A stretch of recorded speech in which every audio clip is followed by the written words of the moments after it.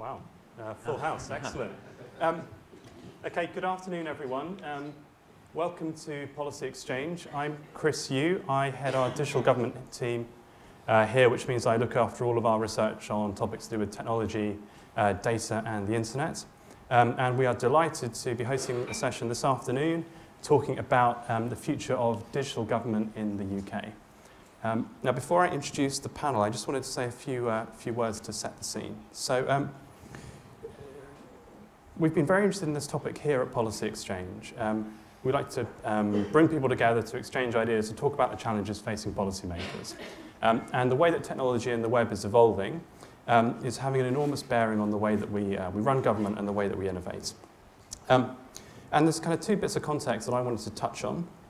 The first was about the way the internet um, is transforming our world and our society. Um, so you will all know as well as me that actually uh, now, day to day, we have ubiquitous or nearly ubiquitous uh, broadband. Many, many of us are carrying a smartphone. We have social networks and social media and so on. And it's completely changed the way that we do business and the way that we interact. Um, we'll do a quick um, straw poll to check who's awake. So, um, hands up if in the last year um, you've walked into a travel agent on a high street to book a holiday. So that's uh, 0%. And hands up if in the last year you've gone online to book a holiday. Okay, so that's like 99 points something. Yeah, these, these guys, these guys haven't had a holiday. been, been busy on delivery. Okay. Um, so, so it's changing our world, and it's, um, it's also, I think, changing the way that we, that we run organizations. So the whole philosophy of the internet about openness, um, agile ways of working, collaboration, um, gives us a chance to rethink um, the way that government and businesses work, rethink the boundaries of the state. Um, the second bit of context is to do with um, the world the government finds itself in. Um, we all know that there's tremendous pressure on the public finances. Um, we know that public sector productivity has been flat for um, the best part of a decade. Um, so we come under enormous pressure, not just to cut costs, but to do better, deliver better for citizens, and to do it with uh, lower cost and, and, less resource intensive. So um, that's the context. There are some big complications in this arena. Um, questions about the inertia in public sector and how you um, start to turn the supertanker. What do we do about whether there's enough capability all the way through the public sector to deliver on uh, modernisation? Um, and how do we change the way that we think about um, doing government business so that it's more focused on what the citizen needs and less focused on what is the easiest way through um, for the department. Now, all of that is a big deal. Um, it's something we're very interested in in at Policy Exchange. Um, and we have a piece of work underway at the moment looking at um, all of these issues and trying to think through what are the challenges for policymakers um, as we stand here and look forwards to 2015 and potentially all the way out to, to 2020. Um, and in the spirit of open policy making, we have a call for evidence up on our website at the moment. It'll be open for the next couple of weeks. So if you want to share your views with us, then please visit the Policy Exchange website, um, have a look at the questions and send your thoughts, uh, thoughts in. Um, for today, I want to spend a bit of time focusing on um, where we are at the moment, what this government has achieved in the last couple of years, um, and by all accounts is a pretty impressive, uh, impressive roster. Um, talk about where we are and some of the challenges um, for the next year or two. and I am uh, delighted and honoured to have a tremendous panel here to discuss, discuss all of this. Um, these will be familiar faces to many of you, but for those um, who haven't uh, met some of these people, um, on my left is Mike Bracken. Mike is Executive Director for Digital at the Cabinet Office, um, and amongst other things has been spearheading the Government Digital Service and the move to gov.uk, um, which O'Reilly Radar described as the default for how government should approach their online efforts in the 21st century. Um, and gov.uk was recently nominated for the 2013 Design of the Year awards. Um, I think it's pretty tough competition against Shard and the uh, Olympic Cauldron and various other things. Um, but that's a tremendous achievement. Um, and Mike was formerly Director of Digital Development uh, at The Guardian. Um, and when I was doing my research for this session, discovered, Mike, you were ranked 13th in the 2012 Wired 100, which was uh, excellent stuff. Um, on Mike's left is Liam Maxwell. Liam is Chief Technology Officer for Her Majesty's Government um, formerly Executive Director for IT Reform at the Cabinet Office and Deputy Government CIO. Um, Liam was also a councillor at the Royal Borough of Windsor and Maidenhead, Head of Computing at Eton, and has a background in uh, uh, IT profession. Um, and I think, Liam, you're famous for having uh, what is the user need um, marked on the back of your iPhone. I don't know if you've got it with you, but um, left it upstairs. Um, but uh, you know, that's a real reminder of um, how important this stuff is. Um, to my right, uh, Rohan Silva. Rohan is Senior Policy Advisor to uh, the Prime Minister. And Rohan, I know you've been a big champion of um, uh, the technology industry, Tech City. Um, you've done a lot of work with um, reforming the Enterprise Investment Scheme, um, the Entrepreneur Visa. And I know you're very interested in open government, um, crowdsourcing, and so on. Um, so we're thrilled to have you with us. Um, and I discovered you were ranked 11th in the 2012 Wired 100. Um, so, um, so, you know, a li- little bit of competition in government uh, won't do us any harm. Um, and last but not least, uh, Tim Kelsey. Uh, Tim is National Director for Patients and Information at the NHS Commissioning Board, um, formerly Executive Director for Transparency and Open Data at the Cabinet Office, um, founder and CEO at Dr. Foster Intelligence, um, and a journalist who worked for a number of uh, papers and broadcasters. Um, so delighted to have all of you with us. The format for this session, um, I'm going to ask each of our panelists to um, say a few words, maybe no more than five minutes or so each, um, giving us their perspectives on what, uh, what they've achieved to date, where they think we are, and some of the challenges ahead. Um, and then I'll open us up for Q&A uh, from the floor, and we will aim to wrap up at around about half past three. Okay? Um, and finally, um, if anyone is doing this on Twitter, the hashtag is uh, hash digitalgov. It's probably quite a Twitter-friendly audience here. Okay, so um, that's enough from me. I think we'll hand over to um, Liam to kick us off. Is that okay? Or do you, want, do you want to go first? Yeah, yeah. Okay. Sorry.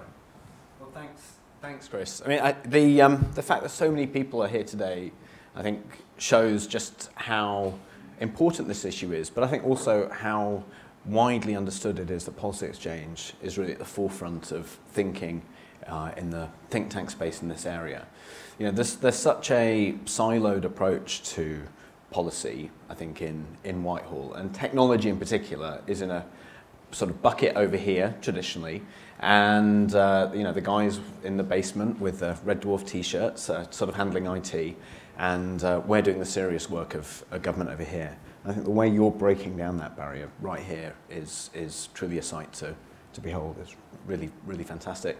My first job was at the Treasury. I was a civil servant. Um, I think we overlapped, and on my very first day, I pointed out to some senior civil servants that the intranet at the Treasury had our phone numbers, Treasury phone numbers, but not any of the phone numbers for revenue and customs. And there was a huge amount of money and effort being spent trying to merge these departments, get them to work better. And so I naively on my first day said, well, look, I can, I'm, you know, I'm not an IT guy, I'm a policy person, but I'll, I'll go and get that fixed.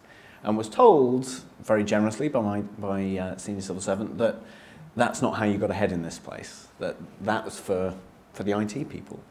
And uh, so, you know, to be here with you, Chris, having hopefully in some small way helped to change that culture, begun to change that culture in Whitehall's very wonderful. As a, as a government, I really think that what we're doing on digital is the most radical thing that most people haven't heard of.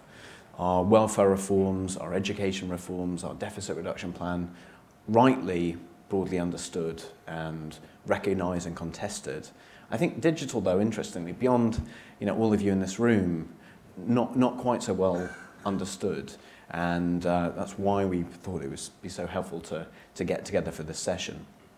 As a government, we've set ourselves this ambition of harnessing technology to stimulate entrepreneurship and innovation in the broader economy and also to transform and improve the way that government works, to make government more efficient and more effective. I'm not going to talk too much about the digital economy side of things that uh, Chris briefly um, recapped around Tech City and our tax policies and so on. But, um, uh, but I'm well aware, of course, that what these guys are doing on government digital policy does have an impact on growth. For example, opening up government IT procurement to SMEs, which is obviously urgently important, is, I believe, catalytic for economic growth. So there's clearly an interplay between these two worlds. But what I want to focus on, as, as is the topic, is the digital government side of things. And I think you could find people in the last administration that probably had, a, had very similar ambitions to harness technology to transform government. What I think is distinct about what we've done is to have a set of you know, philosophical, political values that I believe are in line with the spirit and architecture of the online age. And what do I, what do I mean by that? I mean that as a government, we, David Cameron, George Osborne, um, you know, truly believe in the uh, effervescent power of bottom-up innovation. Genuinely understand that a small group of people at the centre don't necessarily have all the value, uh, have all the answers. They really believe that. And you can see, therefore, that approaches around open data, approaches around crowdsourcing might therefore be attractive. We also believe in the, in the truest sense that other people um, may well find better solutions than we can to problems. And again, our approach to IT, which I'll unpack in a second, I think reflects those philosophical values. So just as you know, we've set ourselves a task of trying to decentralize um, government, try to break up monolithic public services, you see that approach too in our IT uh, frameworks, which these guys have done such an amazing job of developing and executing. The, what, what all this adds up to, I think, is a very different approach to the last administration. So the, the example of the NHS IT supercomputer, I think, is often cited as proof of Whitehall's inability to uh, negotiate contracts, Whitehall's inability to uh, deliver and, uh, and oversee large-scale IT projects. And I'm sure that's, I'm sure that's part, of the, part of the problem with that, with that uh, project. I would say, though, at the core, there was a philosophical problem, which was the last government used technology to try and uh, gather ever more information and power decision making to the centre. That's what the NHS supercomputer was about. There were no provisions in that project to, for example, give patients access to their own health records. That is something that we naturally, philosophically believe. And I think it's also in line with the kind of open architecture, open standards, open source philosophy that's driving the internet revolution. So I think you can um, see how you know, our, our approach decentralizing power, open information, I, I truly believe are, it stems from our philosophical values and is, happens to be, I think fortunately, consistent with the values of the internet revolution. There are four particular areas that I'm proudest of and I think that we've made most headway on. And I'm not going to talk too much about each of them because you know, these guys are the, the real experts and the real heroes on this. The first is open data. And for me, the open data journey began in about 2006, quite in a quite unlikely way when a uh, seven, yeah, I'm not going to say her age, actually, it'd be rude, but a, a, a senior citizen, um, Baroness Noakes, in the House of Lords, sent me an email. And this email uh, referred to a young senator called Barack Obama, who, together with another senator, Senator Coburn, had proposed a fiscal spending transparency bill of all items of federal government spending over $50,000. And this set me on a particular journey of exploration and work that led to us committing ourselves to uh, making spending data transparent. And then further down the line, I think sort of channeling uh, the sort of Hayekian impulses of parts of the Conservative Party, extending that logic, that approach to crime data, education data, transport data, and so on. And indeed, that's how I first met Liam, I think. Um, well, one of the first moments I engaged with Liam, Liam agreed to pilot, offered to pilot, spending transparency at Windsor Council. Uh, a lot of people in Whitehall were saying it would cost you know, a huge amount of money, it would be too, too difficult to make spending data transparent. And Liam proved in a matter of, I think, days in Windsor that this was absolutely possible. So he was our sort of implementation team even before we were in government, uh, which is uh, pretty remarkable. And I think on, on open data, first with Tom Steinberg, then with Tim Kelsey, now with a brilliant civil servant called Paul Maltby, you know, that open data, I think, is widely recognized as being the most advanced anywhere in the world. And the fact that Barack Obama has handed the chair of the Open Government Partnership to David Cameron this year is, I think, global recognition for that work. And obviously there's, there's more to do, but you know, we have a fantastic team of people and uh, uh, independent experts like uh, Rufus uh, Norris, Tim Berners-Lee, Stephen Shakespeare, all feeding into that work, and transparency boards in every major department. You know, the, the logic of further open data is now inexorable. And what I think is wonderful about it is that the genie is truly out of the bottle. Nigel Lawson says the test of any policy is can the next lot easily reverse it? And I think with open data, you know, whatever the um, opposition's view to decentralization, giving away power, giving away information, I'm not sure they will um, U-turn and row back on that open data agenda. So I think that's, that's truly remarkable. Um, the second area that is informed by those values is crowdsourcing. And I think unbeknownst to many people, we've done a huge amount to try and open up policymaking to the wisdom of the crowd. And, you know, this, in a true sort of pop will eat itself moment, when we were in opposition, someone leaked to us, and this happens in Whitehall, someone leaked to us the then Labour government's IT strategy. And George Osborne, to his eternal you know, sort of credit, said, I know what we should do with it, rather than you know, um, you know, do the honest thing and uh, hand it back. Why don't we post it online and allow the crowd to critique it and pull it apart? Because it didn't look very good. We knew it wasn't very good, but let's let, let's let IT experts across the country uh, critique it and help, and that can inform our work. And ever since, we've done a huge amount. Two, two quick examples of crowdsourcing. One is the spending review that we undertook in 2010. The classic way, as Chris knows, that a spending review happens in government is a small group of Treasury officials and ministers and advisors get in a room with a red pen and, and, uh, and go, to, go to work. We opened out the process to every single civil servant in the country and we had literally tens of thousands of responses from civil servants about how money was being wasted, how efficiencies could be made. And within a matter of weeks, we were able to have an event like this with 200 civil servants that had posted ideas, and George Osborne was able to announce that 20 of the specific ideas were being acted on straight away. And so that kind of feedback loop was, was pretty remarkable. Um, similarly, on deregulation, we, we've run a process called the Red Tape Challenge, which is a pretty crap name, I, I, I admit it. But what it's about is saying, look, we in government need the help of business to identify the regulations that are a problem. So we went sector by sector by sector, marine, medicine, you know, tech, technology and so on.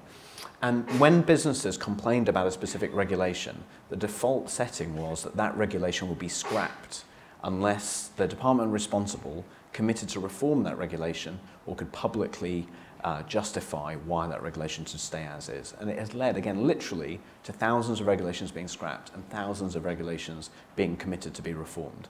And that wouldn't have happened without harnessing the wisdom of the crowd.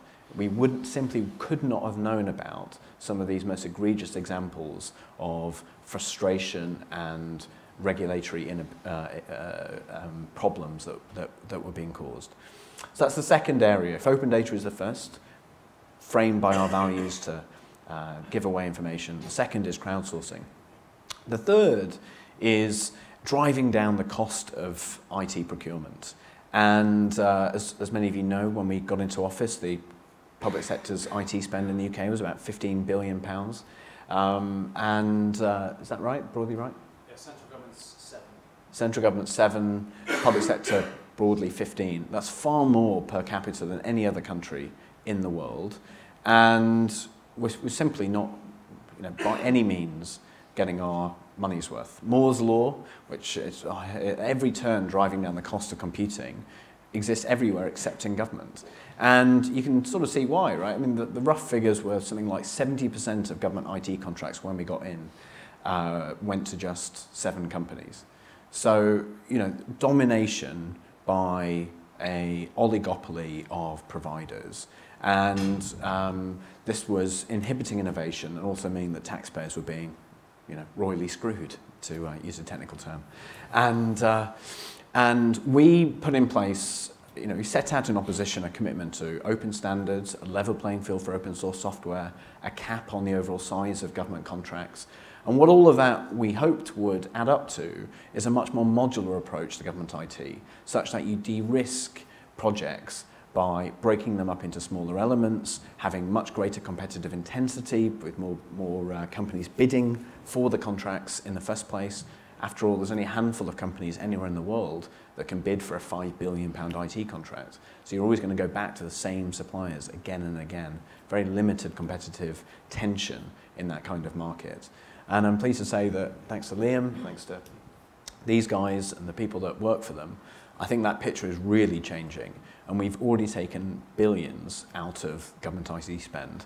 And I'd be so bold as to say we can, we can take the central government spend right down you know, by further billions.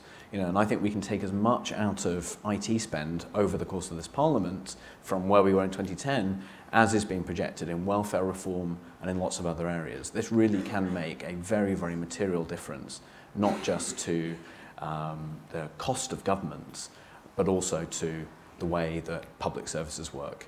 And that brings me on to the fourth and final of the areas that you know, I want to touch on as, as I think you know, the key achievements of this government in this space. And in truth, it's the area that I had thought least about in opposition on open data, crowdsourcing, the government IT procurement. I'd done a lot of work with these guys and others. But the fourth area is about digital transactions and about moving public services online.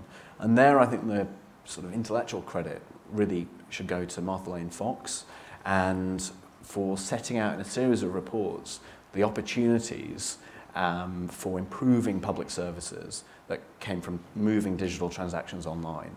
And what Mike has done with gov.uk and what he's going to do with the rest of government over the next few years is, is truly staggering. And you know, in truth, the open data agenda, crowdsourcing, government IT procurement, you know, I, I, that stuff is catalytic and has a dynamic impact in all kinds of ways. What Mike is doing has a very real, immediate impact, I think, to millions of people and the way they interact with government. It's phenomenally important. And you know, we couldn't hope for a better team in Mike and in the amazing set of geeks he's got in his building in Holborn, uh, the government digital service, that really are you know, the best in the world at what they do. So those are the, those are the four areas that I think have, have been the most amazing achievements. We can unpack more of those in the Q&A, but I, I hope what I've been able to communicate and convey is that you know, we haven't arrived at those areas in our approach to them through a purely technocratic process. This isn't just about the cost of government, although that is being brought down. It's not just about improving public services, although that is happening.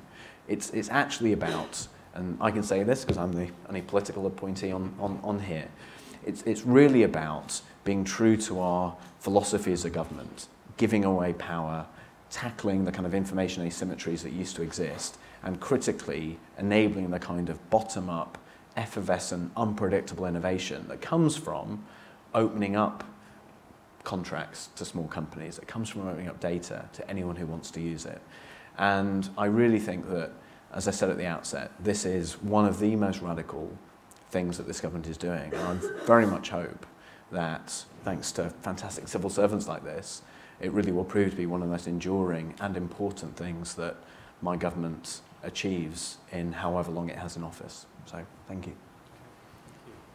Very good. Um, so, who's going to go next? Tim? Go? Uh, yep. Yeah, I'm sorry I put it a little bit early, but I'm sure the conversation was fantastic. Um, I was going to tell you first of all a story which kind of takes us to the other end of this spectrum. I, I you know, had the privilege of working in central government with these guys. Uh, what, a, what a remarkable experience. But for the last six months or so, I've been leading the information technology agenda inside the NHS. Um, and a couple of weeks ago, I was with a group of absolutely inspirational people who have learning disabilities. Um, and we spent an afternoon just working through with them how we can, what we can do to make their lives better. You know, what can we do to make their interaction with the health service better, how can we help them look after themselves better at home and so on. And these are highly sophisticated people just with very significant disability.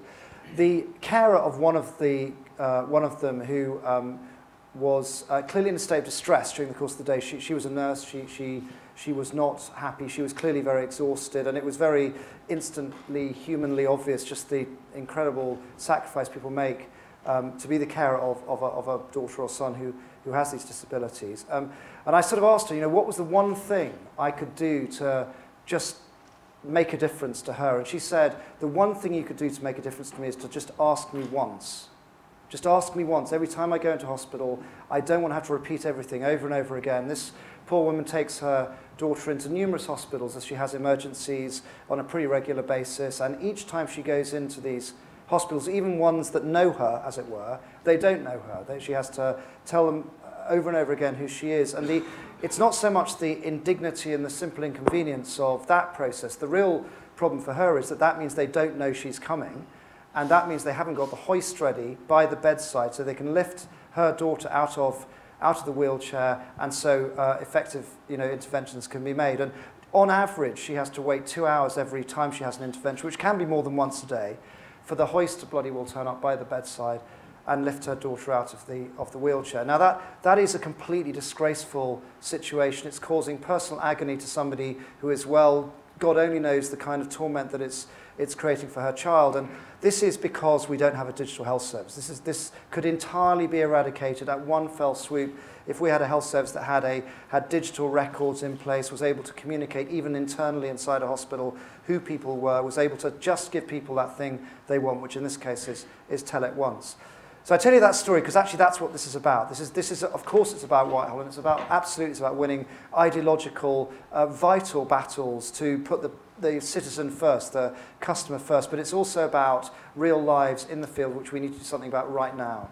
Um, the, the reason I'm saying that partly is, of course, today is an important day because today the government has made its response to the Francis report. And in a way, the NHS is in the middle of just a dozen different crises. You know, we have a fiscal crisis that's not going away. We've had the hunt for David Nicholson. By the way, I'm played by Sean Connery in that particular film. Um, we, have, um, we, have, we have this enormously correctly emotional catharsis around the extraordinary tragedy of what happened at Mid Staffordshire Hospital. And today the government has made its response, and quite rightly, its response is all about transparency, it's all about participation, it's all about digital government. So I wasn't going to say enormous amounts about what we're, what we're currently doing in healthcare, but to direct you to a couple of documents, should you be interested, which lays out the programme. One is called Everyone Counts, um, which is an account of how we're going to be making, I think, a very radical transformation of the NHS through deployment of digital technologies. Um, and the other is the business plan, which, which will be published actually very shortly, has coming out, I think, tomorrow. Um, just, to, just a couple of things, though, that we, we are doing which are urgent. So one of the things is we, we currently have a, an opaqueness, as I've indicated, about the, the, the, the NHS. We, we can't answer really important questions. In some cases, as in Mid Staffordshire, the absence of digital data, means we can't save people's lives. I mean, at one extreme, it's that bad. But, but it's also about things like, right now, this minute, I couldn't tell you, nor could any doctor in this country, how many people were being treated with chemotherapy, nor at, with what outcome. I mean, literally, I couldn't count them.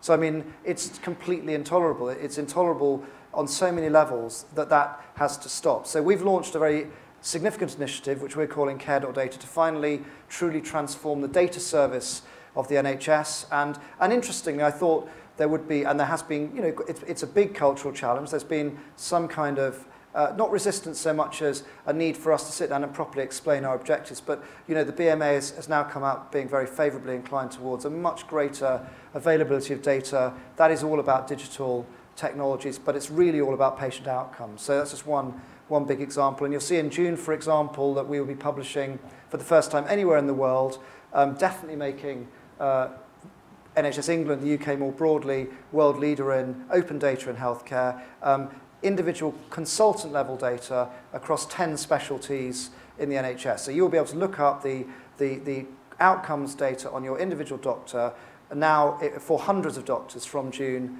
uh, in a way that no, no other patient can look up in other parts of, of the world. We're also going to be making transparency real for individual patients. So from March 2015, every patient, if they wish it, will be able to get online access to their GP records. Now, that's a sort of basic human right, which I think we can all agree with. But to be honest, the real reason we want people to have access to their GP records is to affect the digital transactional revolution that Mike has so pioneered in central government. We want people to book their appointments with GPs online. We want them to order online prescriptions. That'll all be happening. and if you can imagine the agony we all suffer just booking appointments with our GPs. The idea that we might be able to do that online is, is almost unimaginable, but that will happen during the course of the next two years. And by 2015, GPs who do not do that will find their contracts uh, in jeopardy. So these are really important, big moves. And then we've, we've had a couple of other things to point to. We've made commitments to now a paperless NHS by 2018, so a fully digital, interoperable service, exactly in a way the opposite of the supercomputer that Ro was referring to, the idea totally about setting standards and using interoperable means to deliver a open source, cost-effective, high-value, patient-led uh, digital infrastructure.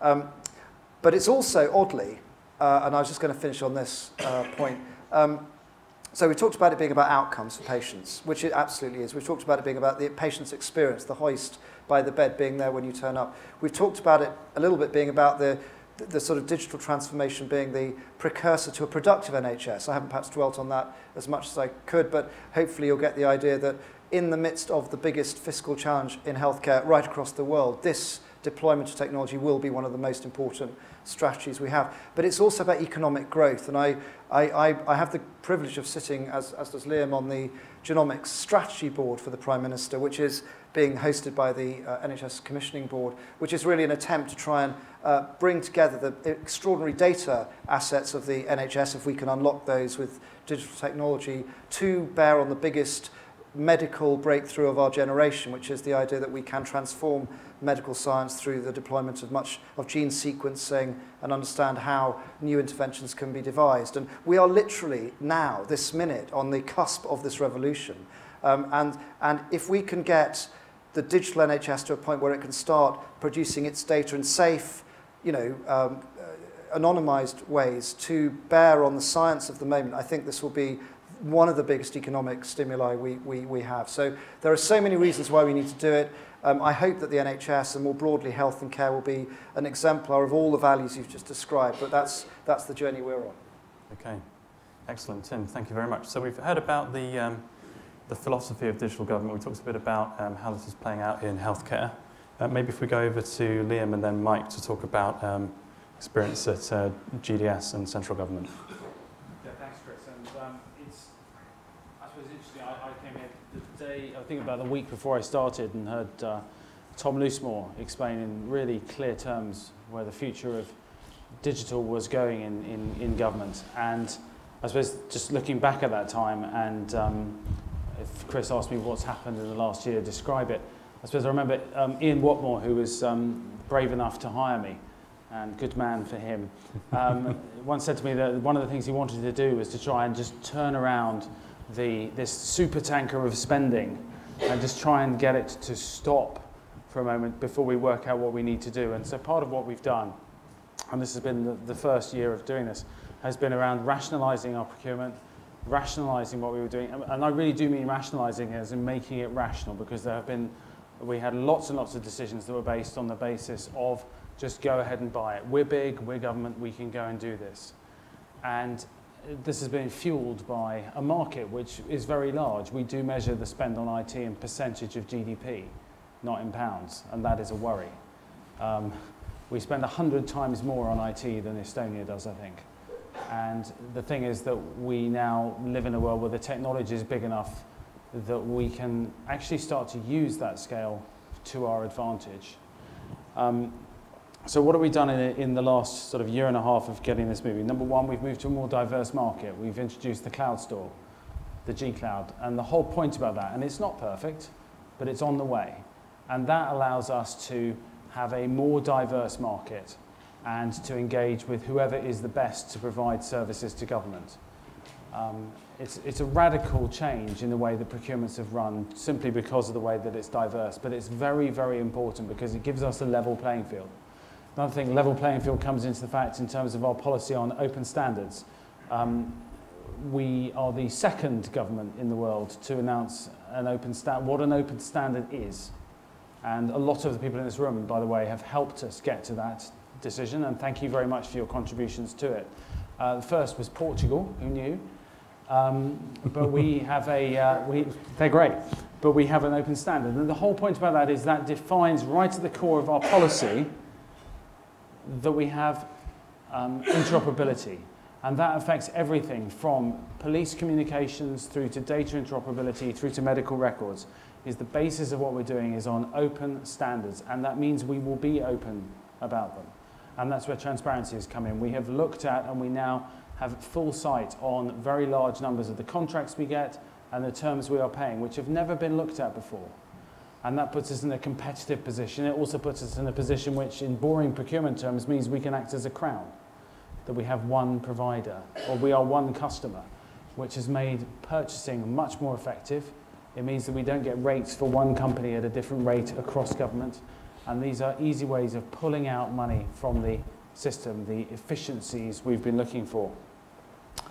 And so a lot of that has been about um, putting in a method of control. And the minister that we report to, Francis Maude, uh, has this phrase of tight loose, that we keep the things that we need to keep tight, that is the control, the standards at the centre, and give people the ability to develop things um, and give people freedom to do things if they agree with those principles. And those are the principles behind the original IT strategy, and they're now the principles behind the future of technology in government.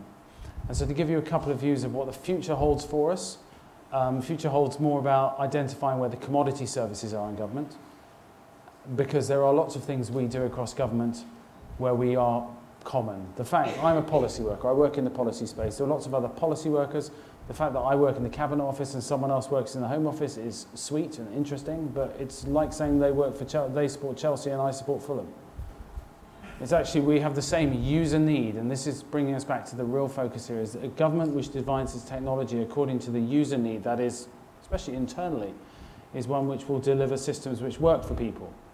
My um, direct, my direct boss is Mike, but our, our boss up is um, uh, Stephen Kelly. And one of the things Stephen gets very upset about is that he turns his computer on in the morning, it takes eight minutes to boot up. And we worked out quite early on that we spent 90 million pounds a year on civil servants waiting for their computers to boot up.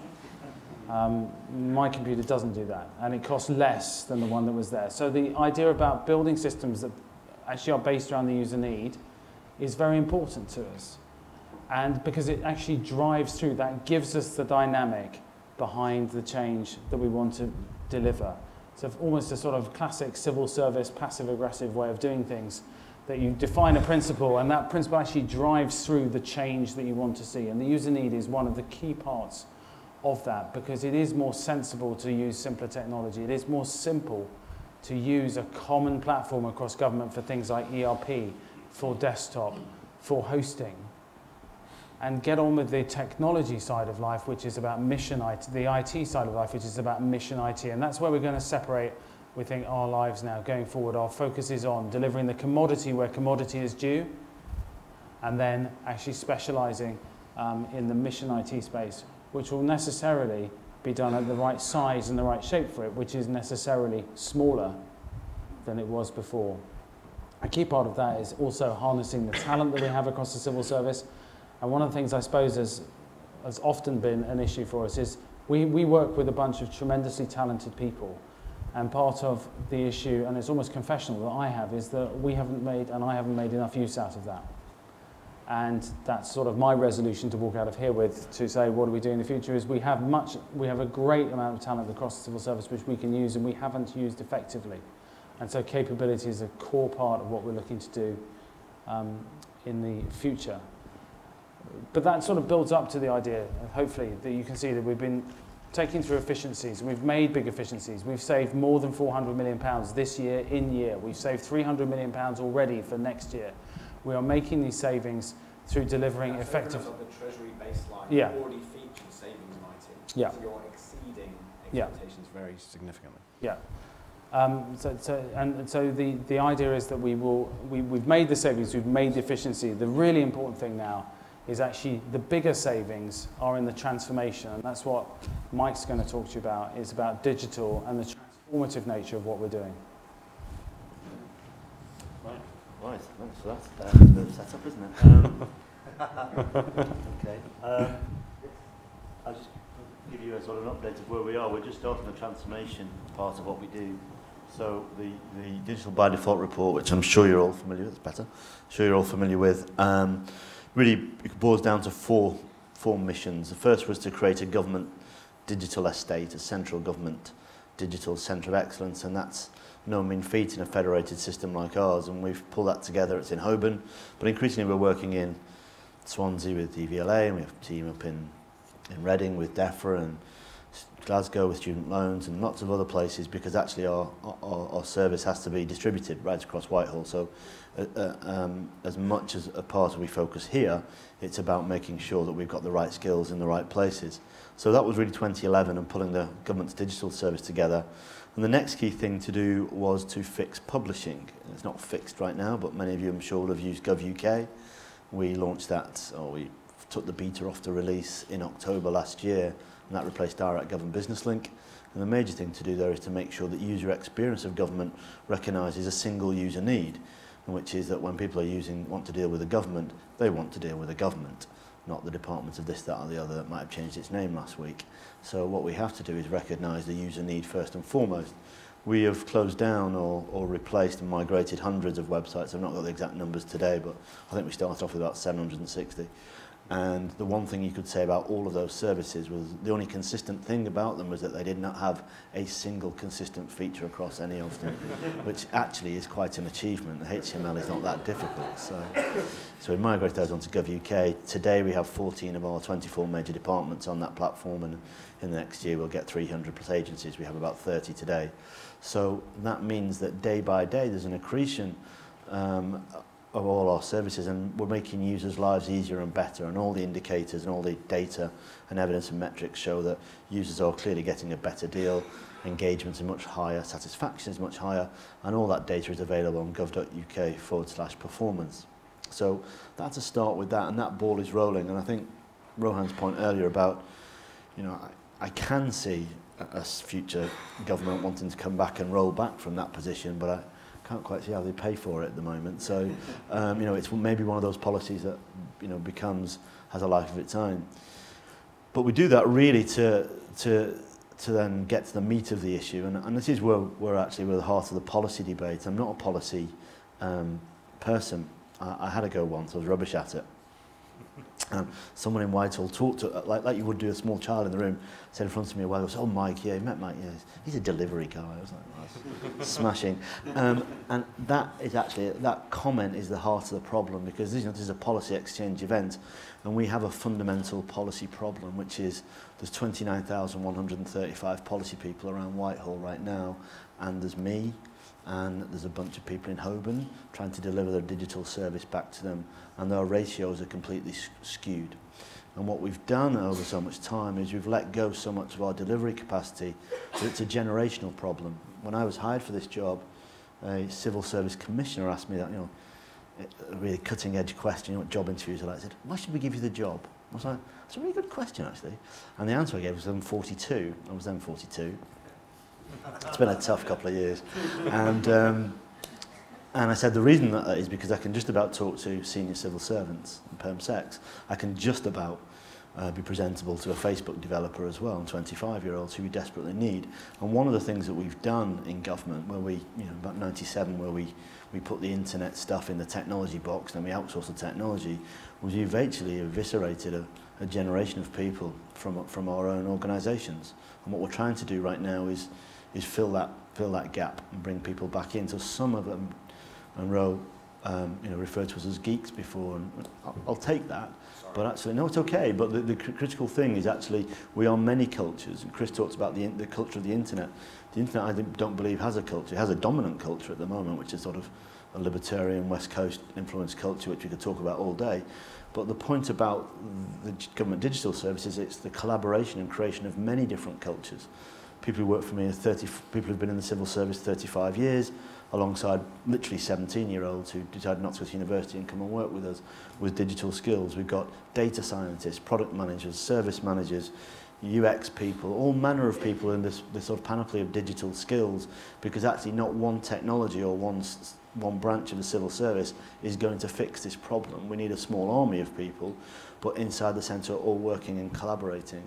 And that's, I think, the, the, the fundamental point about the policy challenge that we have in front of us. We cannot have this false distinction between policy people and delivery people. It is just going to get us nowhere. We've all got to be digital people at the end of the day. So we're on the cusp of transformation. I've been working, we've been talking quite a while. So can I just say, has everyone seen the government digital strategy? Yeah, it's good, it's great. I've read nothing else since, I'm sure. And there are 18 responses to those that were published just before Christmas. And in those responses, that contain 25 of our major 50 services of transactions. Government has 672 transactions.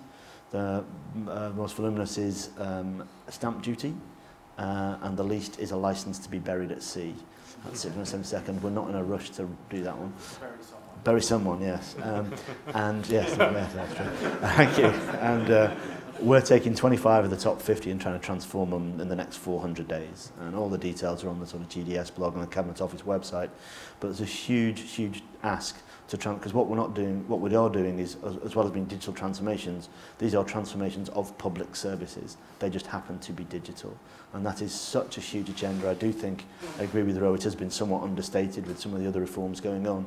But if we get that right, they'll touch 99% of the people in this country and 99% of the businesses every day in going about their daily lives. Because the final point I'd like to make, it's pointed out to me in one of our policy debates, was I was asked about something I know nothing about, which happens every day, and I was asked about the, the West Coast thing in late last year and said, well, you know, do you think it's damaged public confidence in policy and in, and in delivery? And I said, I don't see how it could really, or damage it further, because I think what damages our policy every day is people who have to phone a call centre five times to get an answer because the digital service isn't working or they have multiple user needs and have to sign up for housing benefit with one service and then, as Tim was saying, put the same data in and yet, you know, another related service.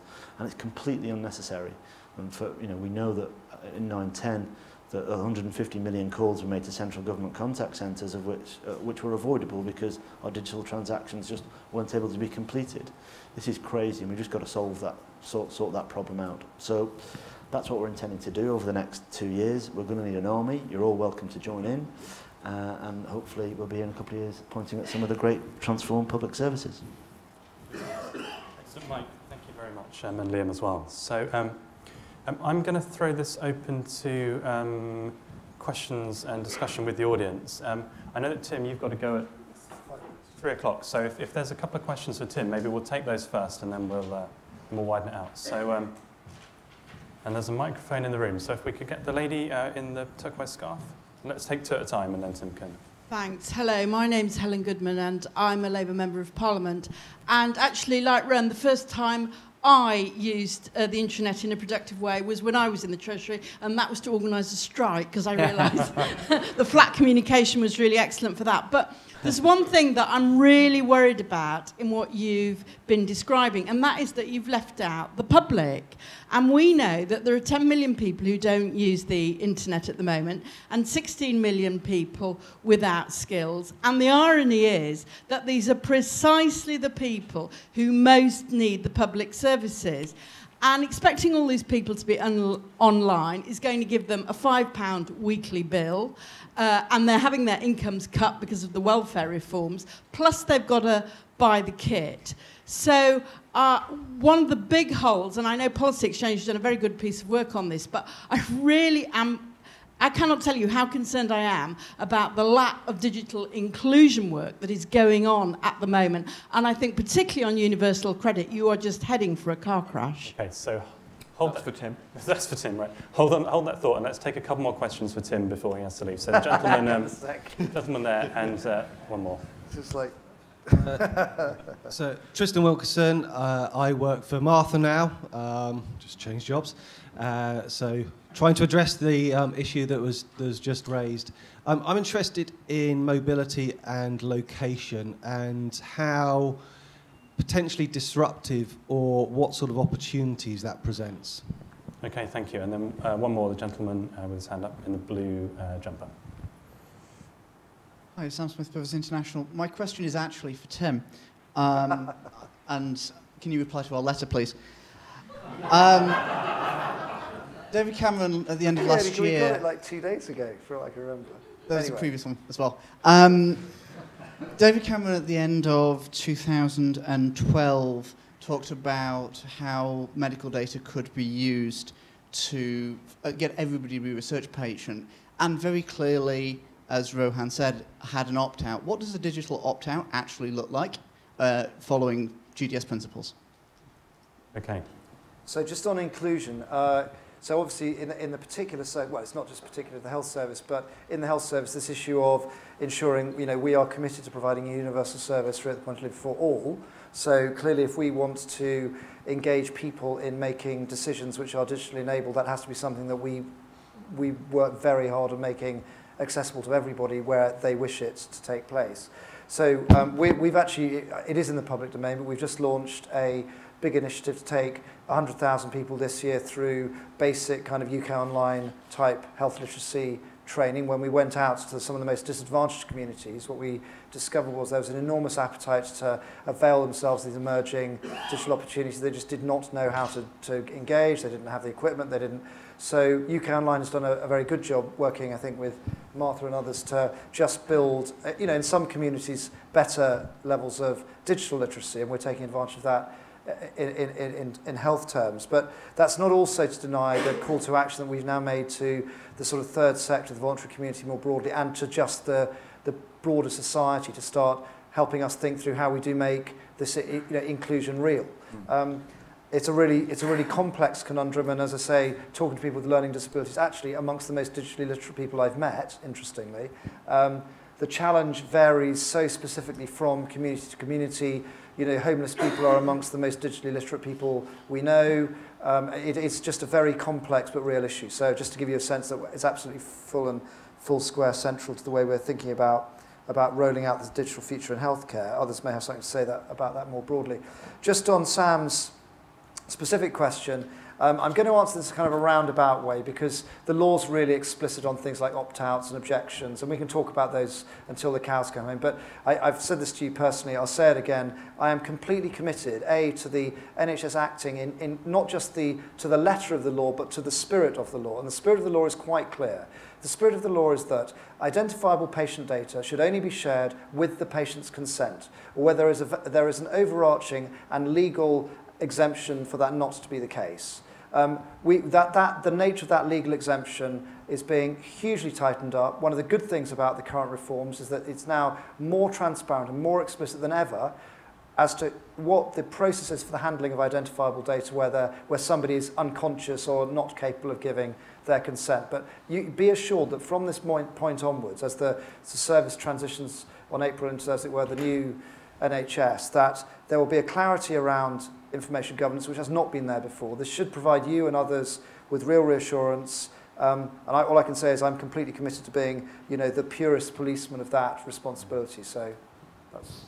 Okay, excellent. Tim, thank you very much. No, thank you. We'll let you get to your next Cheers. engagement. Thanks. Thanks for joining Thank us. Thank you.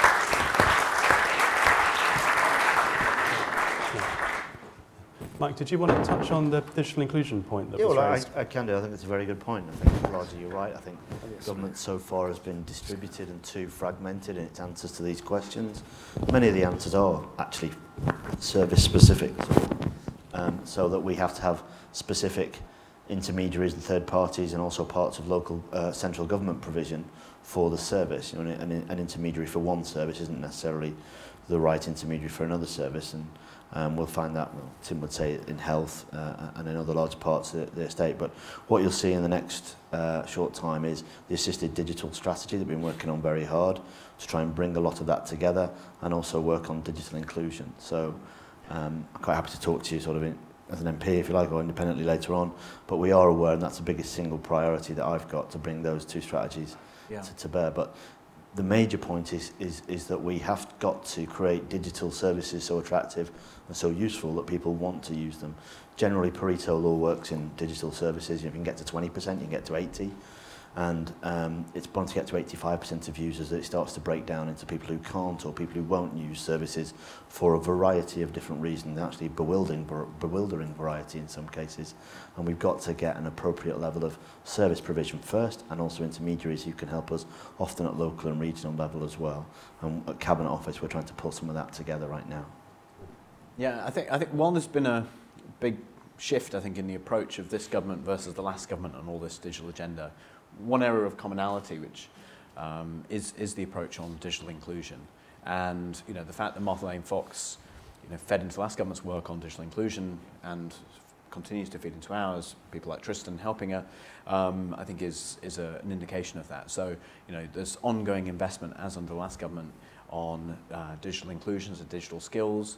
We've created £9,000 bursaries for, uh, for graduates of uh, computer science to become computer science teachers. We've uh, created things like uh, digital apprenticeships and, and specific Tech City apprenticeships to get young people in Hackney and Tower Hamlets and Bethnal Green engaged and uh, equipped with digital skills they need. So I entirely agree with you, and you're so right that it's such an important agenda. As Mike says, getting digital services that for the first time really are frictionless and easy to use online is a big step.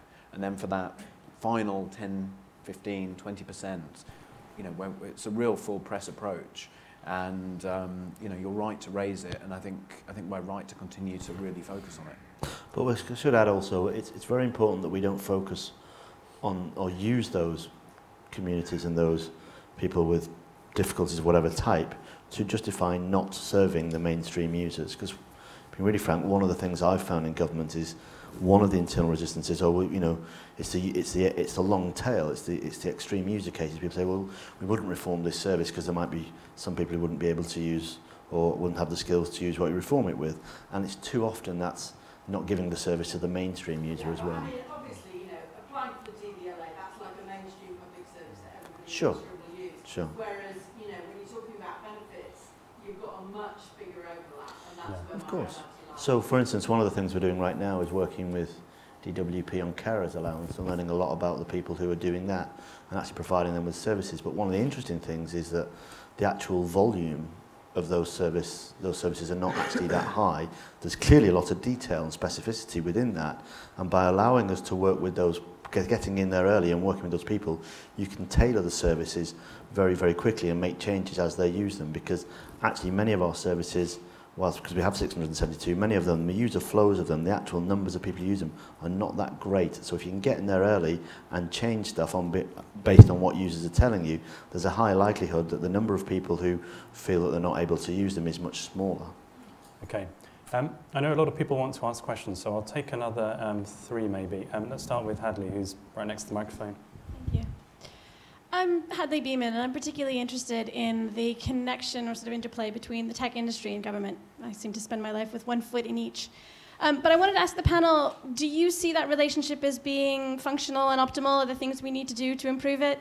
Um, I say Mike is grinning. Specifically, um, my focus is as the chair of a W3C working group. I very much appreciate the participation of, of some people from across the civil service, but we would desperately love to have the participation of more in trying to build web standards that ultimately, among other things, benefit uh, our government. How can we make this better? Okay, thanks for that. And then let's take a couple more questions. So who else had their hand up? Um, lady over there by the window. Can you pass the mic along? Thank you. Hello, Emma Carr from Big Brother Watch. Um, I wanted to ask you a quick question about the communications data bill. Uh, a YouGov poll showed that 40% of people would be unlikely to use online public services if the bill was passed.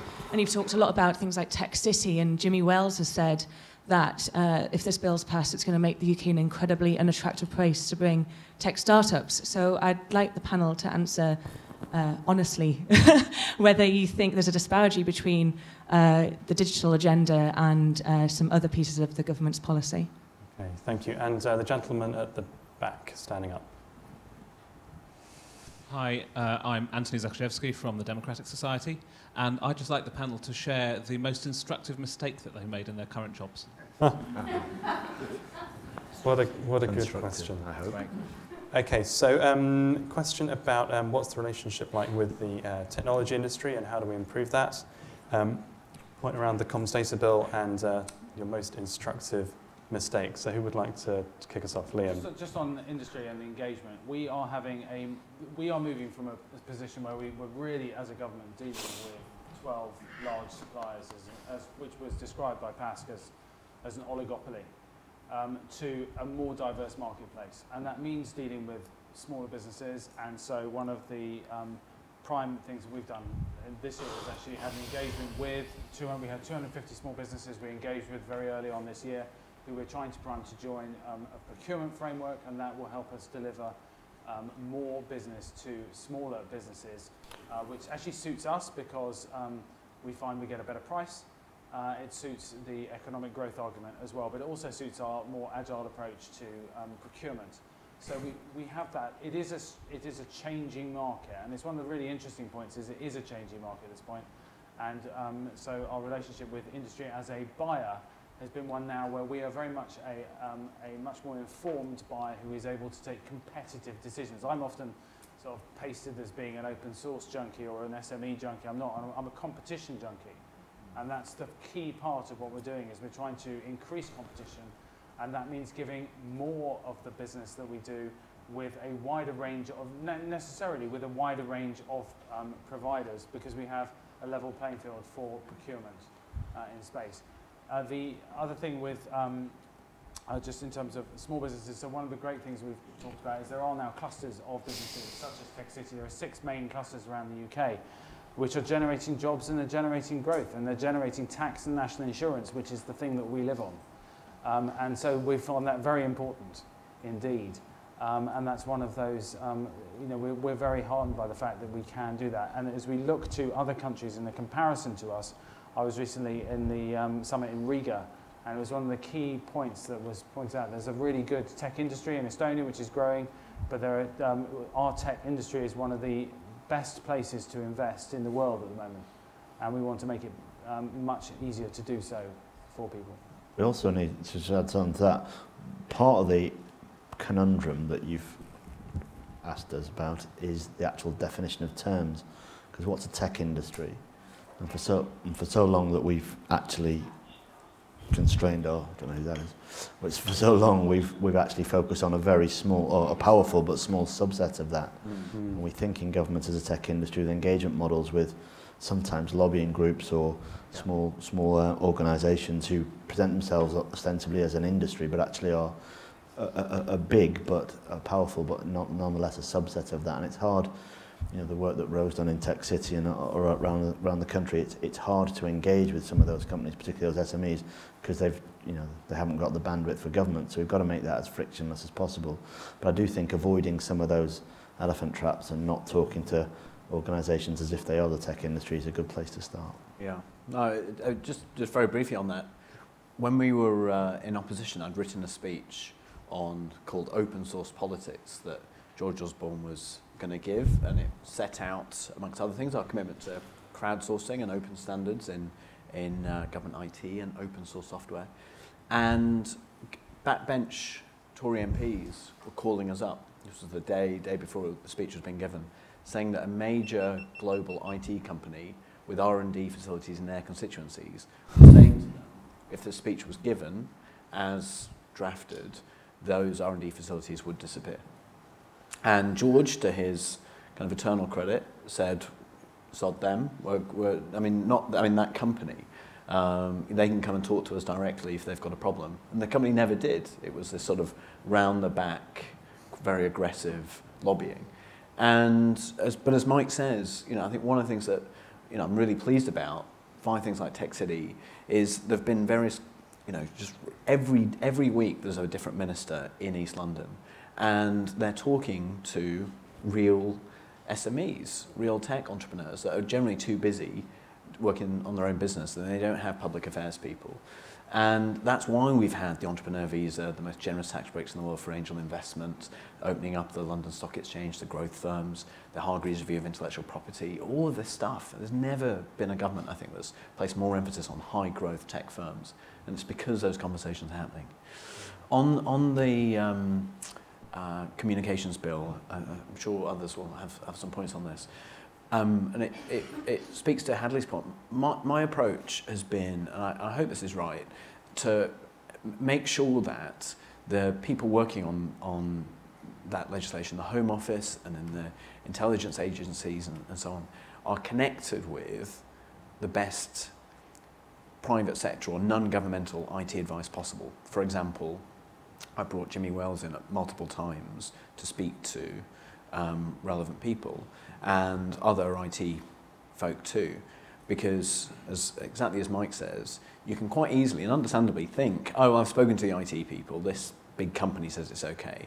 But you, you're not necessarily getting the best, most cutting edge uh, sort of expertise. So that's been the approach to kind of inform government's thinking by presenting them with and putting them in, putting people in a room with brilliant cutting edge IT people like like Jimmy.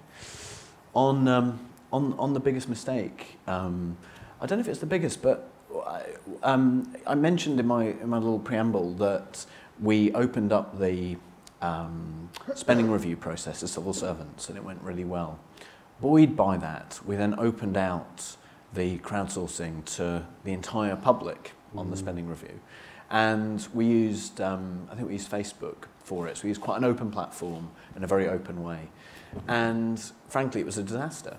Um, not that Facebook's not brilliant, but it, it, we just got bombarded with, frank, you know, racist poems, um, abuse, um, you know, all, all kinds of stuff. And uh, our learning from that has been to try and better frame the question and to try and use platforms that are appropriate for the question at hand. And when, when something is as understandably as you know, politically contested and, uh, and, and difficult as what we believe is you know, the necessary job of reducing the cost of government, you're going to have um, friction.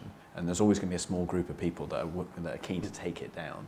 And uh, David Miliband, I think, discovered that with his uh, wiki in opposition that was demolished within, I think, seconds by, by uh, um, activists.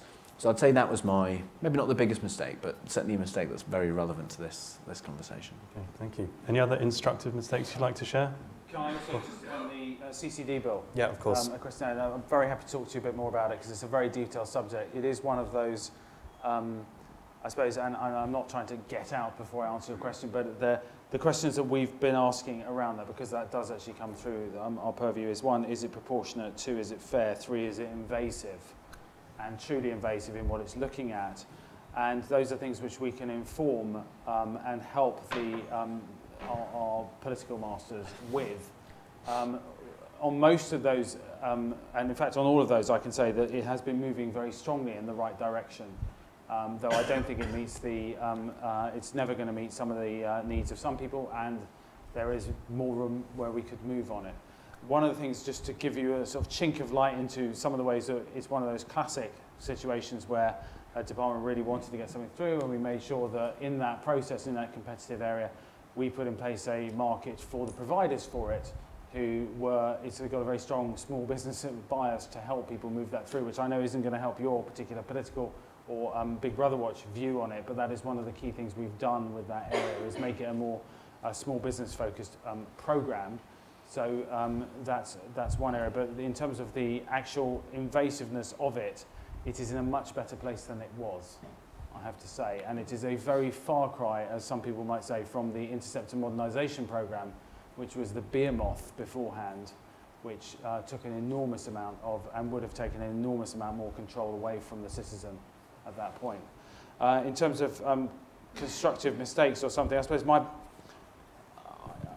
I would say in, in policy terms, the, the biggest mistake that we didn't do in the space I was in was we weren't strong enough about open data and um, public sector information being freely available or at marginal cost. I think that's one of the things which we've missed, and I would really like to, and we are continually backtracking against that. Um, we are on, seen on trading funds. Yeah. So we are seen by the rest of Europe, and one of the interesting calls we get is we're seen by the rest of Europe as the leaders in open data. And so when we did the um, Prime Minister Summit in, um, in Latvia, the Estonian Prime Minister amazingly came to us and said, oh, we really want to use your technology. There's a great export market for what we've done, for the things we've done in open data. People really like what we've done and the way that we have done it. But we need to make more of an effort in making public sector data and information more readily available because it is readily apparent to us that we will generate more tax and national insurance by freeing that market up and allowing companies to grow using it than by extracting a levy as it goes out the door. Okay. Anything to add on constructive mistakes, Mike? Not getting a bigger office. That's it. Okay, let's take a few more questions uh, from the room. So, uh, at the front. Hi, uh, Liz Cantor from BlackBerry. I just wanted to ask another question on the open data point. One, you've obviously talked about it being very successful. One of the drivers of it, of course, is for SMEs to use the data for their own businesses and developing apps and that mm. kind of thing. Yeah. I just wonder, actually, how successful has that take-up been? Mm. And if mm. it hasn't been, what else can be done yeah. to see more app creation through that data? Okay, so hold that and let's take a couple more. So, um, gentleman um, by the wall had his hand up. Thank you very much, Alex Perkis from EMC and the Pivotal Initiative. Um, sort of building on what we've just heard as well. And we've talked a lot about SMEs and uh, open data. Quick question to all of you, but do you see the day, we've characterized the SME problem as a procurement problem, but do you see the day when government will publish its APIs to enable read-write activity in the way that companies like BP and French banks are now doing? Okay, great question. And then one more, the lady in the uh, red top. Oh, no, what's that one? Hi, I'm Kathleen Hall from Computer Weekly. Um, I was interested in the uh, invocation of large government IT projects gone wrong that uh, Rohan was discussing. Um, following from that point, I'd be interested in the panel's view on how universal credit fits in with the new model of IT, given the fact that it's a mammoth project, it's concentrated in the hands of a few suppliers, and there's now mounting concerns being raised over its de deliverability. Okay, thank you. So a question about um, uh, the future of open data. Um, a question about um, SMEs and will government ever open up its uh, APIs and um, something about uh, large IT programs and universal credit. We could so probably get one, two, three on those. So yeah. I, will just take Liz's um, on on open data and how it, how it's going. I think it, we're, we're really um, things like transport data, increasingly health data. I think the business use has been fantastic, and what, what we're now moving into, though, is a, is a time when we need to do much more to stir the pot. And uh, what we've done is create a, uh, an institution called the Open Data Institute. So rather than us running kind of different app competitions and prizes, which are obviously important, we've created an institution, the Open Data Institute, which is in East London, chaired by Tim Berners-Lee, Nigel Shadbolt, and that is an entity that is there to bring together researchers with startup businesses to play with public data sets, but also private sector data sets. And you know, I'd encourage all of you to look them up, go and drop them an email. You know, they're looking for corporate partners, but they're also looking for you know friends and allies in the in the wider tech community. It's a new institution, and it's it's really wonderful. And I think that's our best bet of truly stimulating the kind of open data economy that uh, that we'd want to see. Okay, thanks. Um, yes, is the answer to, to Man Over There. Bi-directional APIs, my work here will be done when we do that, so you can quote me on that. Um, happy to talk to you about that later. We'll see more, we'll see sort of um, GovUK content APIs um, already in, existence, but you'll see more and a richer stream of those later this year. And with the transactions, that is a core part of our transactional strategy. If you check out the service standard, the digital by default service standard, you'll see there is a section about APIs and about how we manage them. They're absolutely vital for my money.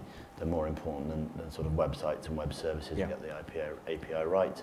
Um, in terms of UC, Kathleen, question asked regularly, but for the benefit of the audience, UC is fine. We're on course for the Pathfinder. We have uh, my colleague David Pitchford, who runs the MPA, has gone in to run that program because after the untimely death of Philip, who was the CIO, so we're helping them work with that whilst we re-recruit back in there. Um, it's on time for both the April and October deliveries. Um, but I think you know you asked a specific question uh, about about it. I think the one thing I would say is that it is not an agile program. Quite clearly not an agile program, which is a waterfall program. Uh, any program of that type, of that size, that commissions, or sorry, procures from such a, a, a, a number of vendors in such high amounts of money is clearly, by any definition, not an agile program. But apart from that, um, that's, that's fine, on we go. Okay. Um, I'll take uh, three more questions and then we'll call it time. So, uh, three at the front, easy. Paul first and then the two behind you. Paul Morris from Vodafone. Um, I wonder on, on the open data front, not least it's actually quite a good, you know, quite a good title for a government invention, which is not always the case. But I use the, the bus data right in London, which is brilliant. Okay, I would never know unless I did, you know, unless I do this for a living, that that is part, powered by that, and you probably should think about that. And why I think that's important is because if I think about in my job talking to politicians a lot, they still have a hangover from some, fairly bad IT projects of the past. I think there's improvements in play, but the reality is unless we get them on side, actually it is difficult, I think, to show why this is important and all these other things and the other challenges. And then the final point I think is around, and this is quite a tricky one, is, and you're talking about, Mike, about getting the capacity up, which I think is right. But then how do you ensure, given the, you know, basically, you know, are you going to be the most exciting place to work? You know, how are you going to ensure you get that swing door working? And I think also become civil service to become a sort of driver of change in a way, you know, but then people to go in and out maybe. I don't know how that challenge works and then how you work well with British, uh, the uh, British ICT industry to sort of get that moving, both large and small. Okay, thank you. And then uh, two people in the row behind.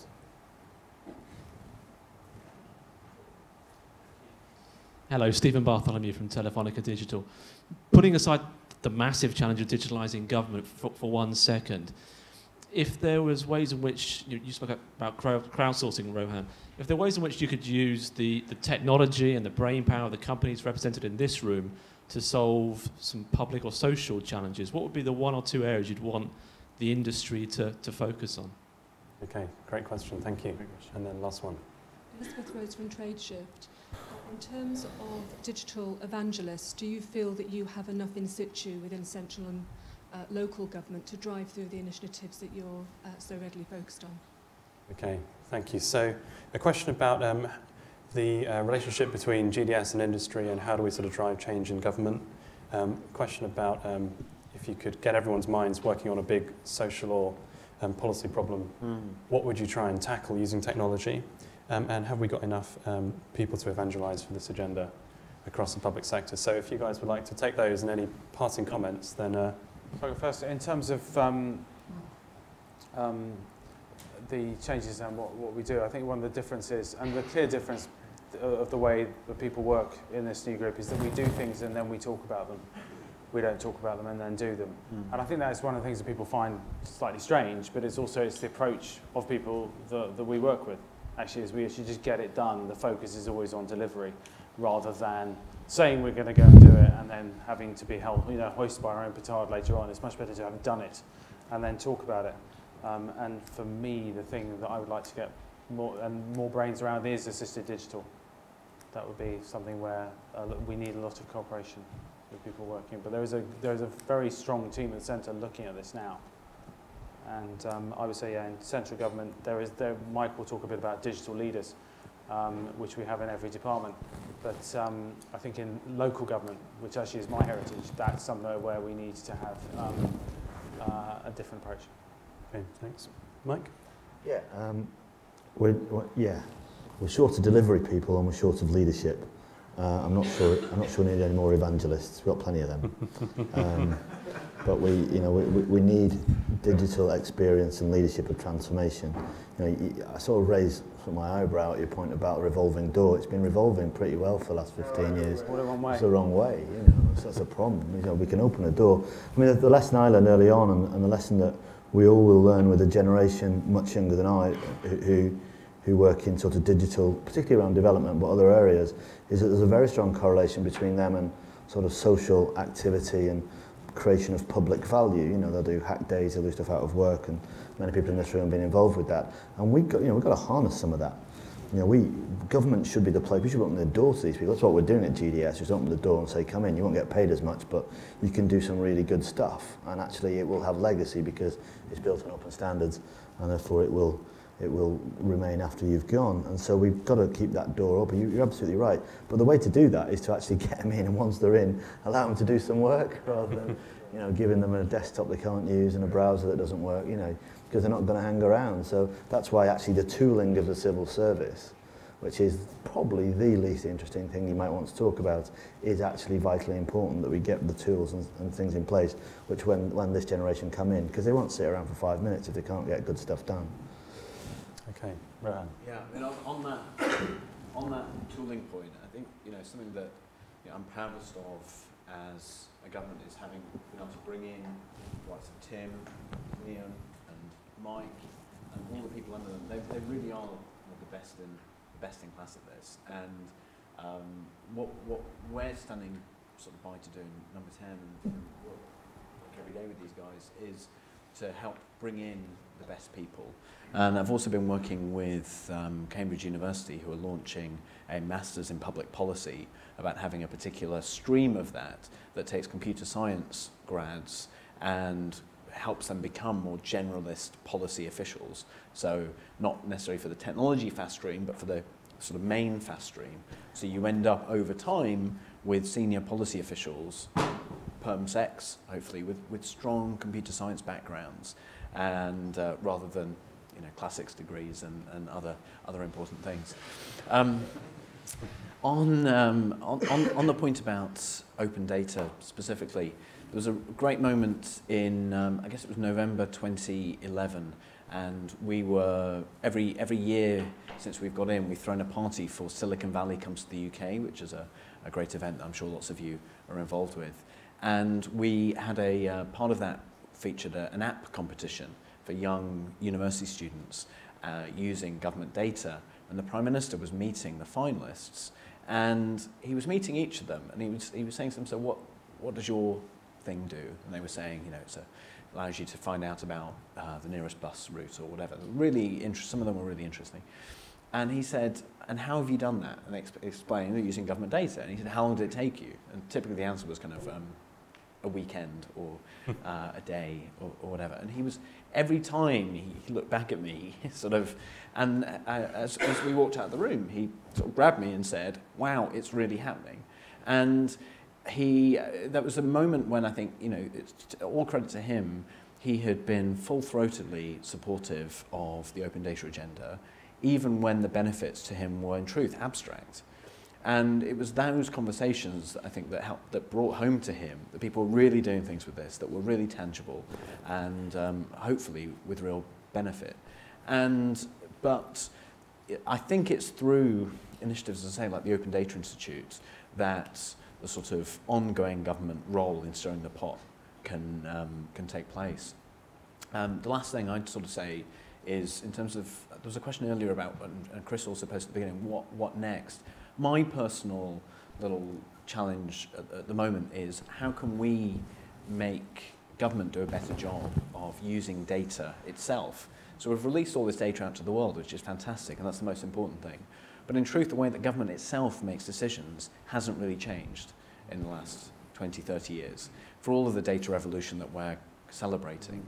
And so one small step in this direction, I, I created a team, led a team that built a data dashboard that is right now on the Prime Minister's iPad. And all this is, is you know, pulling in data from across the public sector, but also outside of government, uh, to give the Prime Minister the best possible, as near as damn it, real-time information about the performance of public services and key policy initiatives that he particularly cares about or he's particularly focused on. And it, there's nothing particularly, most FTSE 100 CEOs have that. And you know, this is very radical, sadly, for a British Prime Minister. And it's right now being rolled out to other government departments. But I, I would say that mission of actually changing the way Whitehall works on a day-to-day -day basis through what Mike's doing, through what Liam's doing. You know, this is the work, I think, of several governments. And, uh, you know, I, I, I just very much hope that, you know, however long this government's in power, I know we'll keep pushing on this, but whoever comes next, I think with your help and the help of the civil service, I think this is an agenda that is now going to be part and parcel of government for the next 10, 20, 30 years. And that's exactly the right time frame for this. Okay. Mike, you want to add one more thing? Yes, just an answer to that guy's question, I didn't answer it. Um, you asked what you could do, and as a mobile operator, you could join the OIX, which is the Open Ad Ad Identity Exchange. One of the biggest things we're trying to do is federate identity management so that we don't have to build this infrastructure to recognize people, that we can leverage the trust networks they've already got with you. So you're Verizon, right? So you're Voda. So you're already in the in there and, and doing stuff. You know, Telefonica could do that too. Maybe others were in BlackBerry because anyone with very large amounts of um, trust in their networks with their customers is something that we want to use. We shouldn't have to, for our 672 transactions, build an identity system for each one of them to ask the users to, to, to identify themselves each time. That's crazy. We should allow users to use the trust network, whether it's with a bank or the phone or the post office or whoever, to identify themselves so that we can transact. by joining that and by making your work interoperable, you would vastly lower the cost and the inefficiency of government's ability to deliver services, and you would actually providing a, a, a public good. So go on, because you know you want to. Okay, thank you. So um, we are up against time, so I'm going to have to draw this to, to a close. Um, I, I have been a civil servant. I had one of those laptops that took um, eight minutes or maybe a little bit longer to boot. Um, when I visit GDS and see some of the things that, that you guys are achieving, it really is um, inspiring. I mean, we've talked about some of the distance to go, but we shouldn't forget how much um, you've achieved. Um, so I hope you have all um, enjoyed the session today, found it interesting. Please do look out for future events on Policy Exchange. We've got something in the diary for a discussion on cybersecurity in April. We'll have more events on digital government over the coming months. Um, please do visit our website and fill in the call for evidence if you haven't done that already. Um, but for now, thank you all very much for coming, and uh, please join me in thanking the panel.